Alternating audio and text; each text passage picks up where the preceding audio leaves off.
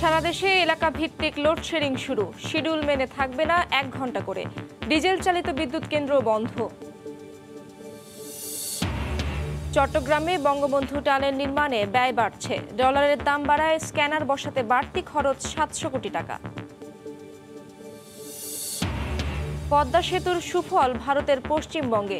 Record সংখ্যক বাংলাদেশি পর্যটকের সমাগম, খালি নেই হোটেল মোটেল। খুশি ব্যবসায়ীরা। ভরা বর্ষায় খরায় পড়ছে দিনাজপুর। জমি ফেটে চৌচির, আমন বা আবাদ নিয়ে দুশ্চিন্তায় কৃষক বাধ্য হয়ে শ্যালো মেশিনে দেয়া হচ্ছে সেচ। এবং আবারও সাগরে জাল ফেলতে প্রস্তুত জেলেরা।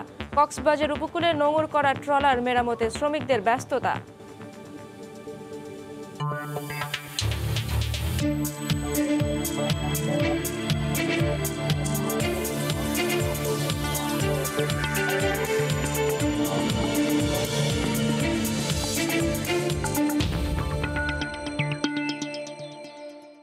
দেখছিলেন শিরোনাম, আমন্ত্রণ জানাচ্ছি দেশ ও দেশের বাইরের অর্থ বাণিজ্যের নানা খবর নিয়ে আমাদের নিয়মিত আয়োজন এ সময়ের বাণিজ্যে। আপনাদের সঙ্গে আছি আমি ইশরাত চেহান শিডিউল অনুযায়ী এলাকা ভিত্তিক এক ঘণ্টার লোডশেডিং শুরু হয়েছে। রাজধানী সহ দেশের কোথায় কখন লোডশেডিং হবে তার সম্ভাব্য শিডিউলও প্রকাশ করেছে বিদ্যুৎ কর্তৃপক্ষ। সকাল দশটা থেকে রাজধানীর আজিমপুর থেকে লোডশেডিং শুরু হয়। প্রথম ধাপে রাজধানীর বিদ্যুৎ বিতরণ কর্তৃপক্ষ, ডিপিডিসি ও ডেস্কো এক ঘণ্টা করে লোডশেডিংয়ের জন্য এলাকা ভিত্তিক শিডিউল ঘোষণা করা হয়।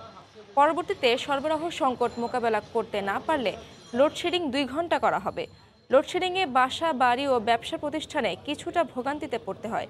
জ্বালানি তেলের লোকসান কমতে কমাতে ডিজেল ভিত্তিক বিদ্যুৎ কেন্দ্রগুলো বন্ধ রাখার সিদ্ধান্ত নেয় সরকার। এছাড়াও সপ্তাহে একদিন পেট্রোল পাম্প মিলবে না তেল। রাত আটটার পর খোলা রাখা যাবে না দোকান ও শপিং মল। শিডিউল মেনেই প্রতিটি এলাকার এক ঘণ্টা করে বন্ধ রাখা হবে বিদ্যুৎ সরবরাহ।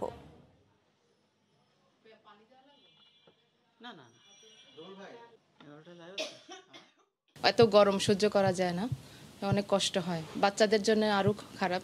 দেখা যায় ফ্যান যদি না থাকে ওরা গরমে অসুস্থ হয়ে ঠান্ডা লাগে বা সর্দি কাশি। কারেন্ট যদি না থাকে কি অবস্থায় আমরা দিন যাপন করতে পারি? আর এটা তো মানুষ অবস্থ হয়ে গেছে কারেন্ট না থাকলে শরীর সারা শরীর তো ঝিম মারি যায়। এক ঘণ্টার বেশি হলে তো আমাদের অবস্থা একদম নিঃশ্বাস নিতেই পারব না। কারণ এত গরম এত গরম সহ্য করার মতো না। কারেন্ট তো চলে গেলে তো তখন মনে করেন আমাদের কাজকর্ম করতে খুব সমস্যা হয়ে যায়। আজ থেকে শিডিউল অনুযায়ী এলাকা ভিত্তিক লোডশেডিংয়ে ভোগান্তি পোহাতে হচ্ছে নগরবাসীকে। এই মুহূর্তে রাজধানীর আজিমপুর এলাকায় আছেন রিপোর্টার আতিকুর রহমান তমাল এবং সিলেট নগরীর শাহী ঈদগাহে আছেন রিপোর্টার ইকরামুল কবির। শুরুতেই যাচ্ছি তমালের কাছে। আমরা যে শিডিউলটি পেয়েছি, অর্থাৎ হাজিমপুরে সকাল দশ থেকে এগারোটা পর্যন্ত যে লোডশেডিংটি হবার কথা ছিল, সেটি কিন্তু হয়ে গেছে এবং এই মুহূর্তে আমরা দেখছি যে এই বাসায় আমি রয়েছি। এই বাসায় কিন্তু আসলে এই মাত্র বিদ্যুৎ কিন্তু এসছে। আমরা দেখতে পাচ্ছি যে এগারোটা বাজার সঙ্গে সঙ্গে কিন্তু আসলে বিদ্যুৎ এসে গেছে। অর্থাৎ সেই হিসেবে বলা ছিল যে ডিপিডিসির পক্ষ থেকে যে শিডিউলটি দেওয়া হয়েছিল, সেই শিডিউল কিন্তু আসলে মেনে চলা হচ্ছে। এবং আমরা দেখেছি শুধুমাত্র আজিমপুর না, সকালে আমরা দেখেছি অনেক কটি এলাকা ঘুরেছি, সেখানে আমরা দেখেছি যে ডিপিডিসি এবং ডেস্কো থেকে যে শিডিউলগুলো দেওয়া হয়েছে, ঢাকা শহরের প্রায় অনেকগুলো এলাকাতে কিন্তু শিডিউল হিসেবে দেওয়া হয়েছে, যে সকাল দশ থেকে এগারোটা এবং এগারো থেকে বারো এবং বারো থেকে একটা বা এইভাবে কিন্তু আসলে সকাল দশ থেকে শুরু হয়ে বেলা আর রাত দশ পর্যন্ত খেলে কিন্তু চলার কথা রয়েছে। এবং সেই জায়গা থেকে আমরা আমরা যদি বলি যে সকাল দশটা থেকে এগারোটা পর্যন্ত যে এলাকাগুলোতে আসলে লোডশেডিং চলেছে। এর মধ্যে একটি অন্যতম কিন্তু হাজিমপুর। হাজিমপুরে আমরা দেখছি যে এগারোটা বাজার সঙ্গে সঙ্গে কিন্তু আসলে কারেন্টটি চলে আসছে। এবং সেটি ছাড়াও জাপান গার্ডেন সিটিতে কিন্তু আসলে লোডশেডিংটি চলেছিল। সেটি কিন্তু চলে আসছে। আমি কিছুক্ষণ আগে কিন্তু খবর নিয়েছি। এবং এগারোটা থেকে বারোটা পর্যন্ত কিন্তু আসলে শ্যাম- শ্যামলী নবোদয় হাউজিং, ঢাকা বিশ্ববিদ্যালয় কোয়ার্টার, এইসব এলাকায় কিন্তু আসলে আসলে হওয়ার কথা লোডশেডিংটি এবং সেই জায়গা থেকে বলা চলে যে আমরা যে শিডিউলগুলো পেয়েছি, সেই শিডিউল অনুযায়ী কিন্তু আসলে এখন পর্যন্ত বলা চলে সকাল থেকে কিন্তু সেটি কিন্তু পালিত হচ্ছে। আমরা দেখছি যে, যেসব এলাকায় লোডশেডিং হয়েছে, অর্থাৎ হাজিমপুরে আমি সকালবেলা দেখেছি যে অনেক মানুষ কিন্তু আসলে অভিযোগ করেছেন, তারা চেয়েছেন যে সরকার ঘোষিত যে লোডশেডিংয়ের সময়গুলো দেওয়া আছে, সেটি যেন মেনে চলা হয়, তারা কিন্তু আসলে এমনটি দাবি করেছেন এবং তারা বলছেন যে যে যেহেতু বৈশ্বিক একটি মহামারী চলেছে এবং তারপরে যে রাশিয়া ইউক্রেন যুদ্ধ, এই যুদ্ধের কারণে যে সার্বিক যে অর্থনৈতিক মন্দা, এই কারণে যে লোডশেডিংগুলো হচ্ছে, সেটি তারা মানতে রাজি আছেন। কিন্তু তারা বলছেন যে এই যে লোডশেডিং, সেটি যেন আসলে নিয়ম মেনে হয়, অর্থাৎ যে শিডিউলগুলো দেওয়া আছে সরকারের সরকারের পক্ষ থেকে, যে এক ঘণ্টা থেকে দু ঘণ্টা হবে, তো এই সেটি যেন মানা হয়। তো এই মুহূর্তে আমাদের কিন্তু আরেক সরকার রয়েছেন সিলেটে। আমরা সিলেটের কিন্তু লোডশেডিংয়ের খবর জানব। তো এই মুহূর্তে রয়েছেন হিরামুল কবির। ইকরাম এই মুহূর্তে যদি বলি, চল্লিশ মেগাওয়াট লোডশেডিং রয়েছে সিলেটে। এই তথ্য আমাকে জানিয়েছেন সিলেট বিদ্যুৎ উন্নয়ন বোর্ডের প্রধান প্রকৌশলী প্রকৌশলী মোহাম্মদ আব্দুল কাদের আমাকে জানিয়েছেন যে সকালে আশি মেগাওয়াট বিদ্যুৎ পেয়েছিল সঞ্চালন লাইন থেকে রেশন হিসাবে। এই মুহূর্তে একশো মেগাওয়াট বিদ্যুৎ তিনি দেন দরবার করে আনতে পেরেছেন। কিন্তু তারপরেও চল্লিশ মেগাওয়াট, অর্থাৎ সিলেটের চাহিদা রয়েছে একশো চল্লিশ মেগাওয়াট বিদ্যুৎ। এ কারণে যে বিদ্যুৎটা পাওয়া গেছে, সেই বিদ্যুৎটা সিলেটকে পনেরোটি এলাকা ভাগ করে এক ঘণ্টা করে করে বিদ্যুৎ বিতরণ করা হচ্ছে। কোনো কোনো জায়গায় এক ঘণ্টা, কোনো জায়গায় আধা ঘণ্টা এইভাবে করে এই মুহূর্তে আমি শাহিদগা আছি। কিছু সময়ের মধ্যেই শাহিদগা এক ঘণ্টার জন্য বিদ্যুৎ চলে যাওয়ার কথা কিন্তু এখন আমরা দেখতে পাচ্ছি। কিছু কিছু জায়গায় গিয়েছে, আবার কিছু কিছু জায়গায় যায়নি। কিন্তু এর কারণটা হচ্ছে গিয়ে আমি প্রধান প্রকৌশলী আমাকে বলেছে যে পুরো সিলেটটাই আসলে লোডশেডিংয়ের মধ্যে চলছে। সে কারণেই কোথায় যেই শিডিউল আমাদের কাছে আছে বা আমরা আমাদের হাতে পেয়েছি যে শিডিউল সেই শিডিউল অনুযায়ী পনেরোটি যেই শহরকে ভাগ করা হয়েছে বা পনেরোটি অঞ্চলে ভাগ করা হয়েছে, সেই অনুযায়ী বিদ্যুৎ থাকতেও পারে, আবার নাও থাকতে পারে। এর কারণ হচ্ছে কি, যে জায়গায় বিদ্যুতের চাহিদা বা যে এলাকায় বিদ্যুতের চাহিদা বেশি আছে, সেই জায়গায় হয়তো কম বিদ্যুৎ দেওয়া হবে বা যেই জায়গায় কম আছে, সেই জায়গায় একটু বেশি দেওয়া হবে। এইভাবে রেশনিং করেই বিদ্যুৎকে বিতরণ করা হবে এবং বিদ্যুৎ সাশ্রয় যে কর্মসূচি জাতীয় পর্যায়ে নেওয়া হয়েছে, সেই আলোকে সিলেটকে বিভিন্নভাবে ভাগ করা হয়েছে এবং আমরা জনগণের সাথে কথা বলেছি, বিভিন্ন লোকজনের সাথে কথা বলেছি জনসাধারণের আহ, কথা হচ্ছে কি যেন ভোগান্তি যেন না কমে অন্তত যেন যেভাবে বলা হচ্ছে এক ঘণ্টা অথবা আধা ঘণ্টা এইভাবে যেন বিদ্যুৎটাকে রেশনিংভাবে দেওয়া হয়। কারণ হচ্ছে কি বেশি সময় জোরে ধরে যদি বিদ্যুৎ না থাকে অনেক সময় দেখা যায় পানি তোলার ক্ষেত্রে বা বিভিন্ন সমস্যা দেখা দেয়। সে কারণে ব্যবসা প্রতিষ্ঠান বা যে সমস্ত জায়গায় বিদ্যুৎ রিলেটেড ব্যবসা আছে বা বিদ্যুৎ সম্পৃক্ত ব্যবসা প্রতিষ্ঠান আছে সেই সমস্ত জায়গায় হয়তো এক ঘণ্টা বা দেড় ঘণ্টা বিদ্যুৎ না থাকলে কিছুটা সমস্যা হতে পারে। তারপরেও যেহেতু রাষ্ট্রের স্বার্থ, দেশের স্বার্থে এই রেশনিং ব্যবস্থা করা হয়েছে, সেক্ষেত্রে জনগণ এই রেশনিং ব্যবস্থাটাকে মেনে নিচ্ছে। তবে এই যত দ্রুত সম্ভব এই রেশনিং ব্যবস্থা থেকে যেন বেরিয়ে আসতে পারে দেশ এবং যাতে করে এই জায়গা বেরিয়ে আসতে পারে, সেই ব্যবস্থা করার জন্য সরকারের প্রতি আহ্বান জানিয়েছে। আমি দেখতে পাচ্ছি এই মুহূর্তে এই শাহী ঈদগাহ এলাকা বিদ্যুৎ চলে গিয়েছে। এগারোটার থেকে বিদ্যুৎ যাওয়ার কথা এগারোটার থেকে বারোটা। এই মুহূর্তে শাহী ঈদগাহ এলাকায় কোনো বিদ্যুৎ নাই। আমরা যখন লাইভে আছি, তখন এই বিদ্যুৎটা চলে গেল এই শাহী ঈদগাহ এলাকায় এবং এই বিদ্যুৎ আসবে ঠিক বারোটার সময়। এইভাবে বিভিন্ন জায়গায় এক ঘণ্টা করে করে পনেরোটা এলাকায় বিদ্যুৎ যাবে এবং এক ঘণ্টা থাকার পরে আবার চলে আসবে। সকাল ছয়টা থেকে এই ধরনের রেশনিং ব্যবস্থা করা হয়েছে। মোটামুটি এ ছিল সিলেটে যে লোডশেডিং চলছে এবং চল্লিশ মেগাওয়াট এখনও বিদ্যুৎ শর্ট রয়েছে। সেই এবং এই কারণে বিভিন্ন জায়গায় যে লোডশেডিং করা হচ্ছে তার সর্বশেষ খবর। সরাসরি জানছিলাম, এলাকাভিত্তিক লোডশেডিংয়ের কারণে ভোগান্তির খবর। চট্টগ্রামের কর্ণফুলী নদীর তলদেশে নির্মাণাধীন বঙ্গবন্ধু শেখ মুজিবুর রহমান টানেলের নির্মাণ ব্যয় বাড়ছে। ডলারের দাম বাড়ার পাশাপাশি টানেলে প্রবেশের গাড়ি পরীক্ষার জন্য স্ক্যানার বসাতে বাড়ছে খরচ। প্রকল্প পরিচালক জানান, এতে সাতশো কোটি টাকা ব্যয় বাড়বে। সেক্ষেত্রে দশ হাজার তিনশো চুয়াত্তর কোটি টাকা টানেলের ব্যয় ব্যয় দাঁড়াবে এগারো হাজার কোটি টাকায়। নূর জামাল আতিকের ক্যামেরায় বিস্তারিত জানাচ্ছেন পার্থপ্রতিম বিশ্বাস। বর্তমানে কর্ণফুলী টানেলের সংশোধিত নির্মাণ ব্যয় দশ হাজার তিনশো চুয়াত্তর কোটি টাকা। নতুন করে বেড়ে টানেলের ব্যয় দাঁড়াচ্ছে এগারো হাজার কোটি টাকার বেশি। প্রকল্পের প্রথম ডিপিপি প্রণয়নকালে খরচ ধরা হয়েছিল আট হাজার চারশো ছেচল্লিশ কোটি টাকা। বিদ্যমান ডিপিপি অনুযায়ী এক ডলারের দাম আশি টাকা ধরা হয়েছিল। বর্তমানে এক ডলারের খরচ প্রায় চুরানব্বই টাকা। চীনের এক্সিম ব্যাংকের মাধ্যমে নেয়া ঋণের অর্থ ছাড়ের মেয়াদ শেষ হবে চলতি বছরই। এর মধ্যে কাজ শেষ না হলে খরচ করতে হবে সরকারি অর্থ। টানেলের প্রকল্প খরচের সাথে থানা ভবন ও ফায়ার সার্ভিস স্থাপনের বিষয়টি যুক্ত হওয়ায় ব্যয় বাড়ছে বলে জানান প্রকল্প পরিচালক। চারশো পাঁচ পয়েন্ট এইট মিলিয়ন ডলার হচ্ছে ডলারে করছে আর তিনশো মিলিয়ন ডলার হচ্ছে আরএমবিতে সেই উনিশশো পঞ্চাশ মিলিয়ন আরএমবি অলরেডি উইড্র করা হয়ে গেছে কিন্তু তিনশো মিলিয়ন ডলার আমরা কিন্তু উইড্র করতে পারিনি। কী জন্য? এক্সচেঞ্জ রেট বেড়ে যাওয়াতে। টানেলে গাড়ি প্রবেশ করার আগে স্ক্যানারে পরীক্ষা করা হবে কিন্তু চুক্তিতে স্ক্যানার বসানোর বিষয়টি ছিল না। এতে বাড়তি সাড়ে তিনশো থেকে চারশো কোটি টাকা লাগবে বলে জানিয়েছে টানেল কর্তৃপক্ষ। স্ক্যানার আমাদের এটা গুরুত্বপূর্ণ একটা জিনিস যেটা অরিজিনালি আমাদের কন্ট্রাক্টে ছিল না সেটা আমরা ভেরিয়েশনের মাধ্যমে দেওয়ার জন্য নীতিগত সিদ্ধান্ত হয়েছে। সেটা ডিপিপিতে যখন আমরা ইনক্লুড করব সেই স্ক্যানারের জন্য তিনশো থেকে চারশো কোটি টাকা আসতে পারে। নিজস্ব অর্থায়নে হলে ডলারের মূল্যবৃদ্ধির বিরূপ প্রভাব থেকে রক্ষা পাওয়া সম্ভব হতো বলে মনে করেন অর্থনীতিবিদ। আমাদেরকে আস্তে আস্তে দেশীয় অর্থায়নে যদি আমরা যদি প্রকল্পগুলো নিতে পারি সর্বোপরি তাহলে আমরা মনে হয় এই যে ডলারের মূল্যবৃদ্ধির যে বিরূপ প্রভাব, সেটা থেকে আমরা হয়তো কিছুটা হলেও আমরা পরিত্রাণ পাবো। চলতি বছরের ডিসেম্বরে বঙ্গবন্ধু শেখ মুজিবুর রহমান টানেল প্রকল্পের কাজ শেষ হওয়ার কথা রয়েছে। এভাবেই দ্রুতগতিতে এগিয়ে চলেছে বঙ্গবন্ধু শেখ মুজিবুর রহমান টানেলের নির্মাণ কাজ, যাতে নির্ধারিত সময়ে টানেল উদ্বোধন করা সম্ভব হয়। আর এই টানেল চালু হলে চীনের সাংহাইয়ের আদলে ওয়ান সিটি টু টাউন হিসাবে গড়ে তোলা সম্ভব হবে। বন্দরনগরী, চট্টগ্রামকে আর সেই সাথে সাধিত হবে অর্থনৈতিক বিপ্লবও। কর্ণফুলী টানেলের সামনে থেকে পার্থপ্রতিম বিশ্বাস, সময় সংবাদ, চট্টগ্রাম। কারিগরি ত্রুটিতে দেড়শোর বেশি যাত্রী নিয়ে চার ঘণ্টা ধরে কলকাতায় আটকে ছিল বাংলাদেশ বিমানের ফ্লাইট।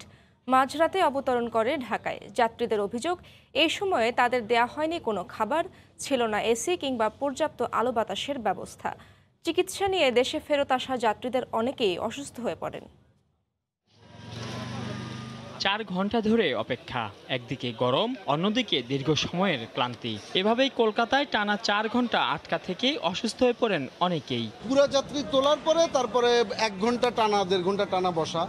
এবং ওখান থেকে কোনোভাবেই বলতেছে মানে আমরা বলতেছিলাম, তাহলে আমাদের অফলোড করে দেন। আমরা বাইরে রেস্ট নেই, তারপরে আপনারা ঠিক করে তারপরে তুলেন। তো সেটাও কেউ শুনছে না। তারপরে একসময় বলল, ঠিক হয়ে গেছে। আবার রানওয়েতে যাওয়ার পরে পুরো আবার ব্যাক করানো ব্যাক করে আবার আরও এরকম দুই আড়াই ঘণ্টা। তার মানে চার ঘণ্টা এরকম একটা মানে ইলেকট্রিসিটিহীন এবং সবচেয়ে বড় কথা গরমের সিদ্ধ অবস্থা সব। এসি কাজ করছিল না, খুবই গরম বাতাস বের হচ্ছিল। ওরা তো কিছু বলেই না, তারপরে সাফোকেশন হচ্ছে, আমি তো নিজেই অসুস্থ হয়ে পড়ছি। কলকাতার রানওয়েতে দেড় শতাধিক যাত্রী নিয়ে আটকে পড়ে বাংলাদেশ বিমানের ফ্লাইট বিজি তিনশো ছিয়ানব্বই। কোনো খাবার তো মেলেইনি ছিল না এসি ও পর্যাপ্ত আলো বাতাস। এমনই অভিযোগ যাত্রীদের। সবার নিঃশ্বাস নিতে কষ্ট হচ্ছিল বাচ্চারা অসুস্থ হয়ে গেছিল ইভেন বয়স্করা অসুস্থ হয়ে গেছিল। হার্টের পেশেন্ট বা এরা যারা তারা সাফোকেশন ফিল করছে। দেখা যায় তিনজন যাত্রী নেমে যায় তাদেরকে যখন কল করা হয় তখন কোনো ক্রু আর কি কাছে আসেনি। ঠিক আছে? পানি চাওয়া থেকে শুরু করে কোনো কিছুর সময় তারা কাছে আসে। তাদের একটা কথাই বলা ছিল যে আমরা এমন একটা জায়গাতে আমরা এখানে পার্কিং করিয়েছি যেখান থেকে আপনাদেরকে নামানোর কোনো সুযোগ নেই। এরপরে তাদের কোঅপারেশন আমাদের কোঅপারেশন মিলিয়ে ভোগান্তি। যাত্রীরা জানান সোমবার রাত আটটা পঁয়ত্রিশ মিনিটে কলকাতা থেকে বিমানের ফ্লাইটটি ঢাকার উদ্দেশ্যে রওনা হওয়ার কথা ছিল। শেষ পর্যন্ত বারোটা ছত্রিশ মিনিটে ছেড়ে আসে। স্থানীয় সময় রাত একটা চৌত্রিশ মিনিটে ঢাকার শাহজালাল বিমানবন্দরে অবতরণ করে ফ্লাইটটি ফ্লাইট ছাড়ার আগ মুহূর্তে কারিগরি ত্রুটির কথা জানানো হয় এবং বিলম্বে ছাড়বে বলেও জানানো হয়। কিন্তু যাত্রীদের খোঁজ খবর নেওয়ার কেউ ছিল না। এ সময় ফ্লাইটের ভেতরেই অসুস্থ হয়ে পড়েন অনেক যাত্রী। ঢাকায় পৌঁছানোর পর জানান ভুক্তভোগীরা। এই ঘটনায় বাংলাদেশ বিমান কর্তৃপক্ষের সঙ্গে ফোনে যোগাযোগের চেষ্টা করেও কোনো বক্তব্য পাওয়া যায়নি। মাইনুল হাসান, সময় সংবাদ, ঢাকা। পদ্মা সেতুর সুফল পেতে শুরু করেছে ভারতের পশ্চিমবঙ্গ। ঈদের পর থেকেই রেকর্ড সংখ্যক বাংলাদেশি পর্যটক এসেছে কলকাতার নিউ মার্কেট এলাকায়। গেল পঞ্চাশ বছরেও এত ভিড় দেখেননি স্থানীয় ব্যবসায়ীরা। কলকাতা থেকে বিস্তারিত জানাচ্ছেন সুব্রত আচার্য। ক্যামেরায় ছিলেন বিশ্বজিৎ দাস। পঁচিশে জুন পদ্মা সেতুর দ্বার উন্মোচন করেন সেতুর স্বপ্নদ্রষ্টা বাংলাদেশের প্রধানমন্ত্রী শেখ হাসিনা। পরদিন থেকেই খুলে দেওয়া হয় সব ধরনের যানবাহনের জন্য। এর একদিন পর সাতাশ জুন থেকেই শুরু হয় স্বপ্নের পদ্মা সেতু দিয়ে কলকাতা ঢাকা কলকাতা রুটের সরাসরি যাত্রীবাহী বাস চলাচল। ফেরি পারাপারের ভোগান্তির বদলে মাত্র ছ মিনিটে পদ্মা সেতু দিয়ে পার হওয়ায় কলকাতায় বাংলাদেশি পর্যটক যাওয়ার প্রবণতা বাড়বে বলে আগেই মনে করা হচ্ছিল। আর সেই প্রত্যাশাই পূরণ করে দিল এই সেতু। ব্যবসায়ীরা বলছেন, পঞ্চাশ বছরেও কলকাতায় বাংলাদেশি পর্যটকদের এত ভিড় দেখেননি তারা। খাবারের দোকান, আবাসিক হোটেলে জায়গা না পেয়ে লাগেজ নিয়ে এ প্রান্ত থেকে ও প্রান্ত ঘুরে বেড়াচ্ছেন পর্যটকরা। এক হাজার টাকার রুম মিলছে না দু হাজারেও। অনেক কস্টলি আগের মতো আর নেই কলকাতার অবস্থা। দুই বছর লকডাউন ছিল তখন হয়তো ওদের বিজনেস হয়নি এই জন্য ওরা এই টাকাটা উসুল করছে দীর্ঘদিন করোনার কারণে যারা আসতে পারতো না খুলনা ঢাকা বা বাংলাদেশ থেকে তারা এসেছে এবং কলকাতা আগের দুই করোনার আগে যে পরিস্থিতি ছিল এখন আবার সেরকম পরিস্থিতি মনে হচ্ছে। ডেলি তিরিশ চল্লিশ হাজার লোক আসছে বাংলাদেশ থেকে। ডেলি তিরিশ চল্লিশ হাজার। হোটেল পাওয়া যাচ্ছে না। রাত্রেবেলা মানুষ রাস্তায় ঘুমাচ্ছে। তবে এরই মধ্যে সংকটও তৈরি হয়েছে। এত বিপুল সংখ্যক বাংলাদেশি পর্যটক আসায় হঠাৎই বাংলাদেশের টাকার দাম কিছুটা পড়ে গেছে। এক সপ্তাহ আগেও বাংলাদেশি একশো টাকায় একাশি রুপি মিললেও এখন পাওয়া যাচ্ছে আটাত্তর রুপি। আমরা শুনছি আশি টাকা কিন্তু আশি টাকা দেয় না সত্তর টাকা করে পাইছি এখানে। এতে মন মতো যারা টাকা ভাঙে এদের মন মতো টাকা দর- দর নিচ্ছে। বুথগুলি বাড়াইতে না হয়। আর কাজের দ্রুততা নিয়ে হয় তো তা দেখা যায় আরেকটি পর্যটকদের আসা যাওয়া সুকুল হবে বেশি। বেসরকারি হিসেব বলছে ভারত বাংলাদেশের পেট্রাপোল সীমান্ত দিয়ে আগে যেখানে গড়ে তিন থেকে সাড়ে তিন হাজার পর্যটক ভারতে প্রবেশ করতেন এখন সেটা বেড়ে দাঁড়িয়েছে সাত থেকে দশ হাজারে। পদ্মা সেতু সুফল পেতে চলেছে। কলকাতার এই নিউ মার্কেট অঞ্চলের বাংলাদেশি পর্যটক নির্ভর এই বাংলাদেশি হোটেলপাড়া এলাকা। এর আগে বাংলাদেশি হোটেল পাড়া এলাকার সংশ্লিষ্টরা বলেছিলেন, পদ্মা সেতুর দ্বার উন্মোচন হলে সরাসরি এই নিউ মার্কেট এলাকার অর্থনীতির ওপর ইতিবাচক প্রভাব পড়বে। আর হলো, বাস্তব চিত্র একই রকম। পদ্মা সেতু হয়ে যাওয়ার পর এই রেকর্ড সৃষ্টি করা বাংলাদেশি পর্যটকদের ভিড় দেখা গেল নিউ মার্কেট এলাকায়। কলকাতার নিউ মার্কেট এলাকা থেকে সুব্রত আচার্য, সময় সংবাদ। দেখছেন এ সময়ের বাণিজ্য। একদিনে পঁচাত্তর লাখ মানুষকে বুস্টার ও দ্বিতীয় ডোজ দেওয়ার লক্ষ্য নিয়ে দেশজুড়ে শুরু হয়েছে ভ্যাকসিন ক্যাম্পেইন। এই মুহূর্তে ঢাকা মেডিকেলে আছেন রিপোর্টার ফারুক ভুইয়া রবিন এবং চট্টগ্রাম সিটি কর্পোরেশন জেনারেল হাসপাতালে আছেন রিপোর্টার ফেরদৌস লিপি। শুরুতেই যাচ্ছি রবিনের কাছে। যদি আসলে দেখতে যাই যে আজকে সকাল থেকেই কিন্তু যে কোভিড টিকাদান ক্যাম্পেইন যে কর্মসূচিটি রয়েছে সেটির কার্যক্রম চলছে। আমরা জানি যে দেশের সব শ্রেণির মানুষকে যে টিকার আওতায় আনার জন্য এবং কোভিড থেকে সুরক্ষিত রাখার জন্য সরকারি নানামুখী কার্যক্রম রয়েছে এবং নানা সময় আসলে যে বিশেষ কার্যক্রম ছিল, তো তারই ধারাবাহিকতায় আজকে এই যে, এই আমরা জানি যে টিকার যে বিশেষ ক্যাম্পেইন এটি চলমান রয়েছে। সকাল থেকে হচ্ছে যেটি লক্ষ্য করা মানে লক্ষ্যমাত্রা ঠিক করা হয়েছিল যে একদিনে পঁচাত্তর লাখ মানুষকে দ্বিতীয় ডোজ এবং বুস্টার ডোজ দেওয়া কিন্তু এখন পর্যন্ত সকাল থেকে আমরা আসলে যে বিভিন্ন কেন্দ্রে আসলে যেটি দেখতে পাচ্ছি যে তুলনামূলকভাবে সারা কিছুটা কম লক্ষ্য করা যাচ্ছে এবং আজকে কিন্তু সকাল থেকেই আমরা যে ধরনের মানুষের উপস্থিতি লক্ষ্য করছি সেটা কিন্তু দেখা যাচ্ছে অনেকটাই যে স্বাভাবিক সময়েও কিন্তু এর চাইতে তুলনামূলকভাবে বেশি মানুষের উপস্থিতি লক্ষ্য করা যায়। তবে যা, অনেকেই যারা আসছেন যে তারা আসলে যেটি জানাচ্ছেন যে এই যে কোভিড টিকাদান কর্মসূচির কারণে অনেকের অবশ্য যে বুস্টার ডোজ নেওয়ার ক্ষেত্রে একটু গতিও এসেছে। অনেকে যেটি জানাচ্ছেন যে এই কর্মসূচিটির কারণে তারা জানতে পেরেছেন বুস্টার নেওয়া বুস্টার ডোজ নেওয়ার যে বিশেষ কর্মসূচির বিষয় এবং সে কারণে অনেকে যাদের হয়তো বা দুই তিন মাস আগেও যে মেয়াদ শেষ হয়ে গিয়েছিল মানে বুস্টার ডোজ নেওয়ার জন্য, তারাও এসেছেন যে বুস্টার ডোজ এবং দ্বিতীয় ডোজ নেওয়ার জন্য। কিন্তু তুলনামূলকভাবে আমি কিছুক্ষণ আগে যেটি বলছিলাম যে আশানুরূপ যে সারাটি, সেটি কিন্তু লক্ষ্য করা যায়নি। আমরা জানেন যে, এরই মধ্যে কিন্তু যে সরকারের এখন পর্যন্ত যে পরিসংখ্যান আমাদেরকে দেখা যাচ্ছে, সেখানেও কিন্তু সার্বিকভাবে যে বুস্টার ডোজ নেওয়ার হার কিন্তু তত একটা নয়। কারণ আমরা জানি এরই মধ্যে যে ছিয়াত্তর শতাংশের বেশি মানুষ টিকার আওতায় এসেছে, যাদের মধ্যে একাত্তর শতাংশ মানুষ যে দ্বিতীয় ডোজ নিয়েছেন। কিন্তু বুস্টার ডোজ নেওয়ার হার এখন পর্যন্ত আঠারো শতাংশ কিন্তু ছুঁয়নি তো সেই জায়গাতে কিছুক্ষণ আগে সকালের দিকে স্বাস্থ্য অধিদপ্তরের মহাপরিচালক এসেছিলেন, তার কাছে জানতে চেয়েছিলাম যে আসলে আজকে তুলনামূলকভাবে যে মানুষের যে সাড়া সেটি কেন যে কম লক্ষ্য করা যাচ্ছে, কারণ সেখানে তাদের প্রচারণার ক্ষেত্রে কোনো ঘাটতি ছিল কিনা। তো সেই জায়গাতে তারা আসলে যে বলছেন যে প্রচারণার ক্ষেত্রে তাদের মানে ঘাটতির আহ, ছিল না কিন্তু যে সাধারণ মানুষের মধ্যে কিছুটা যে সাড়া কম লক্ষ্য করা যাচ্ছে সেটার কারণে তারা অবশ্য বলছেন যে এখন যে কোভিডের ভয়াবহতা কম লক্ষ্য করা যাচ্ছে সেই কারণে হয়তো বা যে মানুষের মধ্যে যে বুস্টার ডোজ নেওয়ার ক্ষেত্রে যে আগ্রহ তুলনামূলকভাবে কিছুটা কম দেখা যাচ্ছে কিন্তু যে এই কার্যক্রম চলমান থাকবে বলে কিন্তু তারা জানিয়েছেন। তো আমরা একটু জানার চেষ্টা করব চট্টগ্রামের খবরাখবর সেখানে আছেন আমাদের সহকর্মী ফেরদুস লিপি। লিপি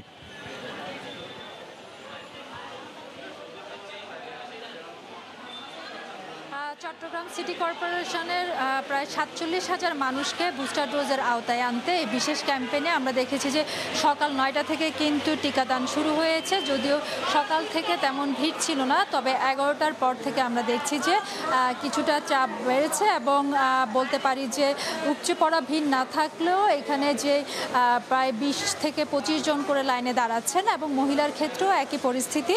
তবে আমরা অন্যান্য যে সিটি কর্পোরেশনের ওয়ার্ডগুলো আছে আহ, সেখানেও কিন্তু পরিস্থিতি অনেকটাই এমন। সকাল থেকে ভিড় না থাকলেও এগারোটার পর থেকে কিছুটা মানুষ আসছে টিকা নিতে তবে সিটি কর্পোরেশন যিনি স্বাস্থ্য কর্মকর্তা, তিনি আমাদেরকে জানিয়েছেন যে চট্টগ্রামে একচল্লিশটা ওয়ার্ডে কিন্তু প্রতিটি ওয়ার্ডে দুটি করে কেন্দ্র খোলা হয়েছে এবং প্রতিটা কেন্দ্রে কিন্তু পাঁচশো জন করে টিকা দেওয়ার লক্ষ্যমাত্রা নির্ধারণ করা হয়েছে এবং এই টিকা কেন্দ্রগুলোতে কিন্তু দুটি আলাদা বুথ রাখা হয়েছে, অর্থাৎ একটা নারীদের এবং একটা পুরুষদের। এবং আমরা দেখেছি যে যারা টিকা নিতে এসেছেন তারাও কিন্তু নির্বিঘ্নে যে টিকা দেওয়া সেটা দিতে পেরে স্বস্তি প্রকাশ করেছেন এবং তারা অনেকে কিন্তু যে বিশেষ ক্যাম্পেইন চলছে সেটা জেনে কিন্তু এখানে এসেছেন এবং তারা বলছেন যে অন্যান্য সময় যেমন উপচে পড়া ভিড় ছিল বিশেষ ক্যাম্পেইনে, এবারের বিশেষ ক্যাম্পেইনে কিন্তু তেমন উপচে পড়া ভিড় নেই। তবে স্বাস্থ্য কর্মকর্তা বলছে প্রয়োজনীয় সব ধরনের ব্যবস্থা তারা নিয়েছেন যেন সব টিকা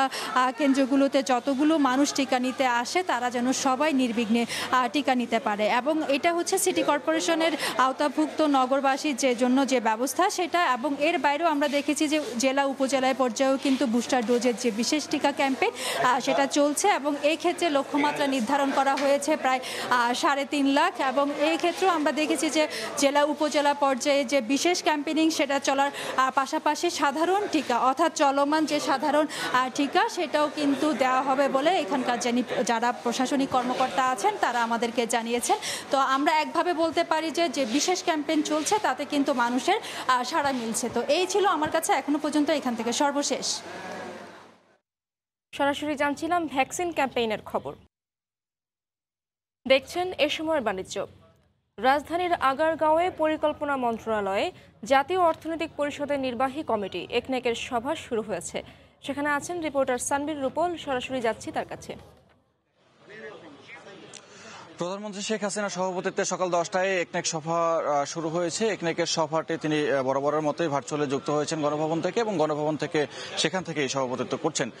এখনও পর্যন্ত একনেক সভার যে তথ্য আছে আমার হাতে সেটি হচ্ছে কি চলতি অর্থ বছরের দ্বিতীয় একনেক সভা এটি এবং দ্বিতীয় একনেক সভার সাতটি প্রকল্প এখন পর্যন্ত আলোচনার টেবিলে আছে এবং সাতটি প্রকল্প উপস্থাপনের মাধ্যমে একনেক সভাটি পরিচালনা করা হচ্ছে এবং সাতটি প্রকল্পের মধ্যে উল্লেখযোগ্য কয়েকটি প্রকল্প আছে আজকে। যেমন ঢাকার যে মেট্রো রেল প্রকল্পটি আছে, সেই মেট্রো রেল প্রকল্পটি এর মধ্যে মতিঝিল পর্যন্ত উত্তরার দিয়াবাড়ি থেকে মতিঝিল পর্যন্ত কাজ চলছে এবং সেখান থেকে বর্ধিত অংশে পরবর্তীতে কমলাপুর পর্যন্ত নেয়ার কথা রয়েছে এবং সেই প্রকল্পটি নতুন করে যে বর্ধিত অংশ পাশ করা হয়েছে, সেই বর্ধিত অংশের জন্য আরও এগারো হাজার কোটি টাকার মতো নতুন করে যোগ হতে যাচ্ছে এবং সেই এগারো হাজার কোটি টাকার বিষয়ে আলাপ আলোচনা চলছে একনেক সভায়। যেটি তেত্রিশ হাজার কোটি টাকার মতো ব্যয় হবে, এখন পর্যন্ত যেটি একুশ হাজার বা বাইশ হাজার কোটি টাকার মতো ব্যয় করার প্রকল্প সেটি আরও দশ থেকে এগারো হাজার কোটি টাকা বাড়তে পারে। তো এছাড়া আহ, এখন এই মুহূর্তে সবচেয়ে বেশি আলোচিত যে বিষয়টি সেটি হচ্ছে গিয়ে বিদ্যুৎ প্রকল্প এবং বিদ্যুৎ সাশ্রয়ের জন্য সরকার নানাবিধ যে পরিকল্পনা করছে এবং নানাবিধ পরিকল্পনার অংশ হিসেবে এরই মধ্যে যেমন শপিং মল বা বাসাবাড়িতে বিদ্যুৎ সাশ্রয় করতে বলা হয়েছে বলা হয়েছে সরকারি কর্মকর্তা কর্মচারীদের অফিস আদালত এবং গাড়িতে এসি ব্যবহার করার ক্ষেত্রেও। তো সেক্ষেত্রে এরকম একটি অবস্থার মধ্য থেকে যেহেতু ডলার সংকটের কারণে তেলের যে বিদ্যুৎ উৎপাদন খরচ সেটি বেড়ে যাচ্ছে এবং তেলের উৎপাদন খরচ থেকে সরে দাঁড়িয়ে সরকার চাচ্ছে আসলে যে তেল ভিত্তিক বিদ্যুৎ কেন্দ্র থেকেও সরে দাঁড়াতে এবং সে- তারই অংশ হিসাবে আজকে একটি প্রকল্প অনুমোদন করতে যাচ্ছে সরকার এবং সেটি হচ্ছে গাজীপুরের ধনুয়া থেকে শুরু করে ময়মনসিংহ সদরের সেখানে একটি গ্যাস পাইপলাইন গ্যাস পাইপলাইনে নিরবচ্ছিন্ন গ্যাস সরবরাহের মাধ্যমে সেখানে কম্বাইন্ড বিদ্যুৎ প্ল্যান্ট আছে যেটি সেটিকে সচল করে এবং জাতীয় গ্রিডে চারশো বিশ মেগাওয়াট বিদ্যুৎ জাতীয় গ্রিডে যোগ করতে চায় সরকার। এই জন্য সাড়ে পাঁচশো কোটি টাকার একটি প্রকল্প নিয়ে আলো- আলাপ আলোচনা চলছে। যে প্রকল্পটি বাস্তবায়ন করা হলে তাহলে অন্তত বড় একটি অংশ বিদ্যুতের আওতা এবং বিদ্যুতের যে ঘাটতি আছে, সেটি মোকাবেলা করার জন্য অন্তত সহায়ক ভূমিকা পালন করবে। তো এছাড়া আরও একটি প্রকল্প আছে, যেটি হচ্ছে কি স্তন ক্যান্সার ক্যান্সার সেটি একটি প্রকল্প আছে, সেই প্রকল্পটির জন্য আসলে একটি আলাপ আলোচনাও হয়তো হচ্ছে। এর মধ্যে যে দেশের বাইরে বেশ কিছু কর্মকর্তা, কর্মচারী তারা বিদেশ সফরে যাওয়ার একটি কথা আছে এবং সেটি নিয়ে হয়তো পরবর্তীতে আলাপ আলোচনা হবে। তো এখন পর্যন্ত আহ, একনেক সভা চলছে এবং দুপুরের মধ্যে যখন একনেক সভাতে সাতটি প্রকল্প অনুমোদনের পরে বা শেষ হওয়ার পরে বিস্তারিত জানানো যাবে এবং তখন পরিকল্পনা মন্ত্রী এম এ মান্নান তিনি সাংবাদিকদের বিস্তারিত জানাবেন। তো এখন পর্যন্ত একনেক সভা থেকে এই ছিল সবশেষ খবর। সরাসরি ছিলাম রাজধানীর আগারগাঁওয়ে। ভরা বর্ষায় খরায় পুড়ছে কৃষি নির্ভর জেলা দিনাজপুরের জনপদ। আবাদি জমি ফেটে চৌচির। এতে আমন আবাদ নিয়ে দুশ্চিন্তায় কৃষক। বাধ্য হয়ে অনেকে শ্যালো মেশিন দিয়ে জমিতে পানি সেচ দিচ্ছেন। বৃষ্টির অভাবে আবাদ বাধাগ্রস্ত হওয়ার কথা স্বীকার করেছে কৃষি বিভাগ। গোলাম নবী দুলালের তথ্য ও মঞ্জিদ আলম শিমুলের ছবি নিয়ে রিপোর্ট। আষাঢ় পেরিয়ে চলছে শ্রাবণ। বৃষ্টির দেখা নেই। এ সময় জলমগ্ন থাকার কথা, কিন্তু উল্টো চিত্র। বৃষ্টির অভাবে জমিতে নেই পানি। খরায় পড়ছে হাজার হাজার হেক্টর জমি। তাপমাত্রা ওঠানামা করছে ছত্রিশ থেকে সাঁত্রিশ ডিগ্রি সেলসিয়াসের মধ্যে। এ সময় আমন চারার বয়স পেরে যেতে শুরু করলেও জমিতে পানির অভাবে আমন রোপণ করতে পারছেন না কৃষক। বীজতলা করা হয়েছে তেরো হাজার তিনশো হেক্টর জমিতে। খরায় বীজতলায় হলুদ রং ধারণ করেছে। বিকল্প ব্যবস্থার মাধ্যমে আট শতাংশ জমিতে আমন চারা রোপণ করা হয়েছে। খরা জ্বালানি ও শ্রমিকের বাড়তি মজুরির কারণে এবার আমন আবাদে উৎপাদন খরচ বেশি হবে বলে মনে করছেন কৃষকেরা। ডিপটুলো চালু করলে এখন পয়সা লাগবে। এই পয়সাটা তো আমাদের জোগাড় দিতে পারছি না। খরচা তো অতিরিক্ত বাড়াছে ডবল কামেন কিষানের দরমা বাড়াছে এই যে আমাদের এখন তো খরচ বেশি পড়তেছে আকাশের অবস্থা আর কতদিন বা- বাঁচে থাকব বলেন? বৃষ্টি নেই তাই বাধ্য হয়ে শ্যালো মেশিন বসিয়ে আমন আবাদ করছেন কৃষক। এই সময় জমি একদম তৈয়ারি হয়ে যায় এদিন লাগানো শেষ হয়ে যায়। আর এখন পর্যন্ত কোনো জমি এখনও চাষ পড়েনি মাটি ফাটি সাদা হয়ে গেছে। বর্তমানে গাড়তে পারতেছি না পানির জন্য হালও বাইতে পারতেছি না। আকাশে তো পানি হচ্ছে না তখন শ্যালো লাগাবো শ্যালোর তো পানি উঠবে না এরকম। পানি নিচে বসে গেছে পাতাল হচ্ছে। তবে কৃষি বিভাগের দাবি বৃষ্টির অভাবে আমন আবাদ কিছুটা ব্যাহত হলেও লক্ষ্যমাত্রা পূরণে কোনো সমস্যা হবে না। বৃষ্টিপাত হলেই রাতারাতি ব্যাপকভাবে এটা লাগানো হবে। এবং ইতোমধ্যে আমরা দেখলাম যে জমির যেগুলা কিছু জমির ঘাস বেশি যেগুলো আছে, সেগুলোতে পরিচর্যা সহ যেগুলো কাজ করা সম্ভব, সেগুলো কৃষকরা করতেছে। সুতরাং আমাদের রূপা আমন ধানের অ্যাচিভমেন্ট নিয়ে দিনাজপুরে কোনো সমস্যা হবে বলে আমরা মনে করছি না। দিনাজপুর জেলায় এবার দুই লাখ ষাট হাজার হেক্টর জমিতে আমন আবাদের লক্ষ্যমাত্রা নির্ধারণ করা হয়েছে। এ পর্যন্ত আবাদ হয়েছে মাত্র পঁচিশ হেক্টর জমিতে। সময় সংবাদ, দিনাজপুর। সাগরে মাছ শিকারের সরকারি পঁয়ষট্টি দিনের নিষেধাজ্ঞা শেষ হচ্ছে তেইশ জুলাই। এরই মধ্যে কক্সবাজার উপকূলে ফিরছেন জেলেরা। দুমাস নদীতে নোঙর করা ট্রলারে এখন চলছে মেরামত সহ সাজানোর কাজ। শেষ মুহূর্তে মাছ ধরার জাল মেরামত বা নতুন জাল তৈরির কাজে ব্যস্ত সময় পার করছেন শ্রমিকরা। আরও জানাচ্ছেন সুজাউদ্দিন রুবেল। ছবি তুলেছেন মোহাম্মদ ফরাজ। কক্সবাজার শহরের বাঘখালী নদীর ছয় নম্বর ঘাট। পনেরো জনের বেশি শ্রমিক বুনছেন জাল। কেউ নতুন, আবার কেউ মেরামতে ব্যস্ত জাল। সরকারি পঁয়ষট্টি দিনের নিষেধাজ্ঞা শেষ হতে কয়েকদিন বাকি। তাই শেষ মুহূর্তে মহাব্যস্ত সবাই। শেষ হলে যেতে পারি সেই জন্য অতি শীঘ্রই মানে ব্যস্ততা বেড়ে গেছে। পঁয়ষট্টি দিন অবরোধে আমার প্রায় পাঁচশো পিসের মতো জাল রিপেয়ারিং করছি আমরা। বাকখালী নদীতে নগর করা শত শত মাছ ধরার টলার। এসব টলার নিষেধাজ্ঞার কারণে সাগরে যায়নি দু মাসের বেশি। কয়েকদিনের মধ্যে নিষেধাজ্ঞা কাটিয়ে টলারে করে সাগরে মাছ শিকারে যাবেন জেলেরা। তাই টলারে ফিরছেন অনেক জেলে। তারা টলার ও ইঞ্জিন মেরামতের পাশাপাশি রং করছেন টাঙ্গাচ্ছেন নতুন পতাকা। বাইশ তারিখ থেকে খুলবে। মানুষজন এসে রেডি করতেছে জালের কাজ প্লটের কাজ বিভিন্ন কাজ সেগুলো রেডি করে তেল পানি পড়বে আমার কোনো কাম আর বাকি নেই মানে সম্পূর্ণ কিছু।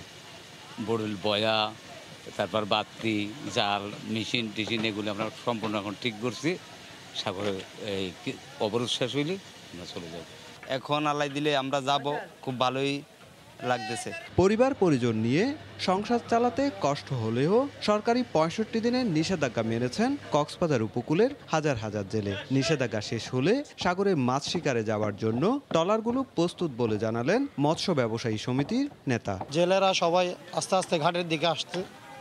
ঘাটের দিকে এসে বোর্ডের মালামাল তাদের যাওয়ার প্রস্তুতি গুলা তারা সম্পূর্ণ করতেছে আর কয়েকদিনের ভিতরে তারা চলে যাবে। কক্সবাজারে লক্ষাধিকের বেশি জেলে থাকলেও নিবন্ধিত জেলের সংখ্যা তেষট্টি হাজারের বেশি আর নিবন্ধিত নৌযানের সংখ্যা ছয় হাজারের বেশি। সুজাউদ্দিন রুবেল সময় সংবাদ কক্সবাজার। দেখছেন এ সময়ের বাণিজ্য। ভারতে লম্বা সিরিয়ালে আটকে থাকায় নির্দিষ্ট সময় দেশে ফিরছে না চালবাহী ট্রাক যার প্রভাব পড়ছে দেশের চালের বাজারে। বিস্তারিত জানাতে বেনাপোল বন্দরে আছেন রিপোর্টার আজিজুল হক। সরাসরি যাচ্ছি তার কাছে।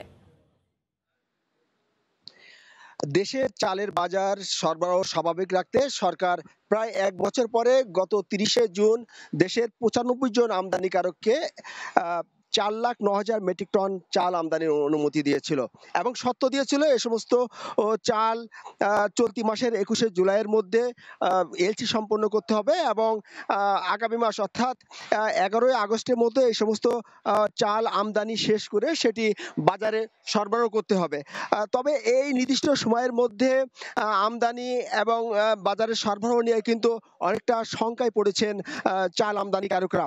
চাল আমদানিকারকরা আমাদেরকে জানিয়েছেন যে আহ, ভারত অংশে নানান জটিলতার কারণে কিন্তু আমদানি খরচ প্রচুর পরিমাণে বেড়ে যাওয়ায় তারা এ সমস্ত চাল যেমন বাজারে বিক্রি করতে ক্রেতা সংকটে ভুগছেন তেমনি কিন্তু সময় মতো তারা চাল আমদানি করতে পারছেন না।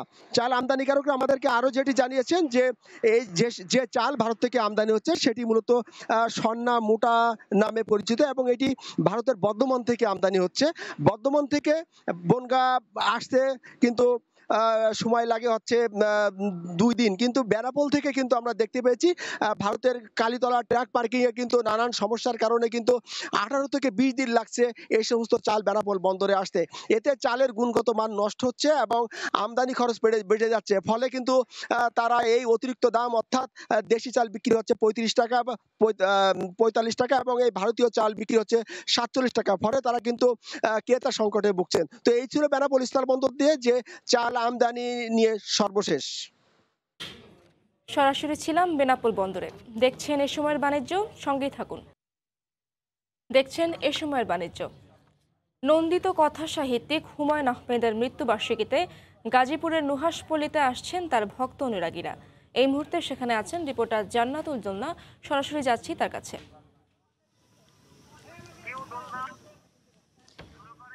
তিনি বৃষ্টি ভালোবাসতেন। তাই তো আজকের মেঘাচ্ছন্ন প্রকৃতি আমাদেরকে জানিয়ে দিচ্ছে, আমরা তোমাকে ভুলিনি, আমরা তোমাকে ভুলতে পারি না। তুমি থাকবে আমাদের হৃদয়ে, আমাদের ভালোবাসার সবুজ ছোঁয়ায়। বৃষ্টি ভালোবাসা জোছনা ভালোবাসা হুমায়ুন আহমেদ আমাদেরকে ছেড়ে চলে গেছেন অনন্তকালের পথে। কিন্তু তিনি আছেন জোছনা বিলাসী, হাজারো হিমু, হাজারো রূপার মাঝে। তিনি আছেন মিশির আলীর মাঝে। আজকে সকাল থেকেই নুহাসপল্লী গাজীপুরের নুহাসপল্লীতে তিনি যেখানে তার সমাধি অবস্থিত, সেখানে কিন্তু ভক্ত এবং অনুরাগীদের ছিল ঢল এবং সকাল থেকে কর্মসূচি ছিল। এই যে এতিম বাচ্চাদের খাওয়ানো এবং কোরআন থেকে, পবিত্র কোরআন থেকে তেলাওতের একটা আয়োজন ছিল এবং এগুলো কিন্তু শুরু হয়েছিল একদম ভোর সকাল থেকে এবং পরবর্তীতে বেলা একটু বাড়ার সাথে সাথে ভক্তদের আনাগোনা আনাগোনা শুরু হয় এবং আমরা দেখতে পাই সবাই কিন্তু ফুল নিয়ে আসেন এবং সবাই শ্রদ্ধাঞ্জলি অর্পণ করেন। এবং তিনি কিন্তু আমাদের হৃদয়ে থাকবেন, ভালোবাসায় থাকবেন তিনি বেঁচে থাকবেন, শুভ্রর কথায় মিশির আলীর যুক্তিতে তিনি বেঁচে থাকবেন। এই যে যেই আজকের যেই কর্মসূচি, সেখানে কিন্তু আমরা দেখতে পেয়েছি এতিম বাচ্চাদের জন্য যে খাওয়ানোর আয়োজন, সেটা কিন্তু সকাল থেকেই রান্নার আয়োজন চলছিল। তারা সকাল থেকে বিভিন্ন ধরনের আইটেম তাদের জন্য রেডি করছিল এবং বাচ্চারা খুবই উচ্ছ্বসিত ছিল। কিছুক্ষণের আগেই আমাদের মাঝে উপস্থিত হয়েছেন মেহের আফরোজ শাওন এবং তার দুই পুত্র নিশাত এবং নিনিত। তারা কিন্তু শ্রদ্ধাঞ্জলি অর্পণ করেছেন এবং ভক্তদের সাথে কথা বলেছেন আমাদেরকে জানিয়েছেন। তিনি ক্যান্সার হসপিটাল সম্পর্কে আমাদেরকে বলেছেন। এবং এবং তিনি কিন্তু বলেছেন যে পরবর্তীতে তিনি- কতক্ষণ এখানে থাকবেন সেটিও আমাদেরকে জানিয়েছেন। এই ছিল আমার কাছ থেকে সর্বশেষ।